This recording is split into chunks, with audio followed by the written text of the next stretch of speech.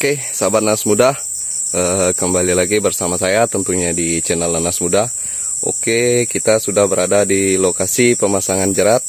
Eh, di sini eh, saya akan memasang jerat raciknya dengan kondisi seperti ini. Oke, seperti ini.